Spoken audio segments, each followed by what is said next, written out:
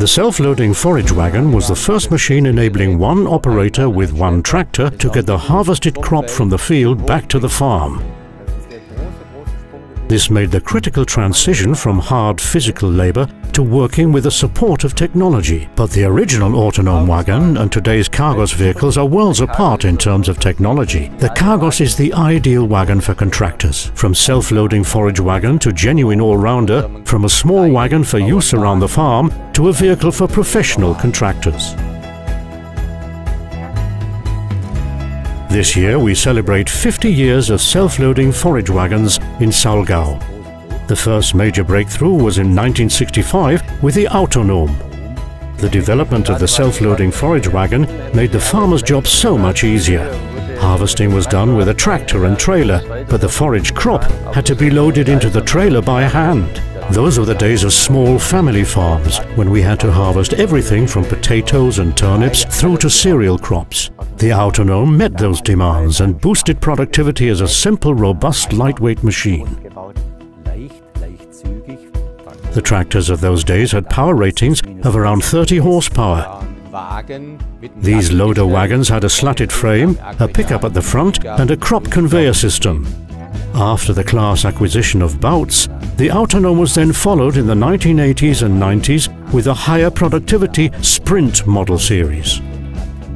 The new machines worked faster and with higher loading rates. Crop loading technology originally designed purely for farm use started to penetrate the contractor market more and more grass was being made into silage. The strength and stability of loader wagons was now at a premium, with a dramatic increase in the weight of crop to be transported. More knives, higher volumes, and above all automatic discharge were now the order of the day. There was a clear market demand for a dual-use wagon. So, on the basis of the know-how built on the Sprint and Quantum model series, Claas developed a completely new design concept. Claas can take real pride in the development of the Cargos as a high-efficiency machine, offering profitable returns for contract operations. The Cargos has an operating time of 400 to 600 working hours a year.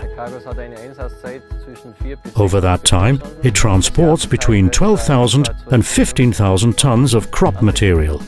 During the maize harvest, I can remove the loading unit for three more tons of payload. In combination with the hydropneumatic chassis, this provides outstanding driving stability. Today's Cargos machine offers unbeatable productivity, and more and more farms are again satisfied with this loader wagon's chopping quality.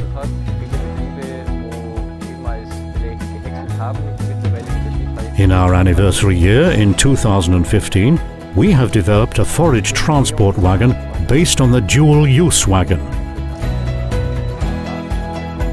With Cargos 700, the new forage transport wagon, Claas covers the full process chain for forage harvesting.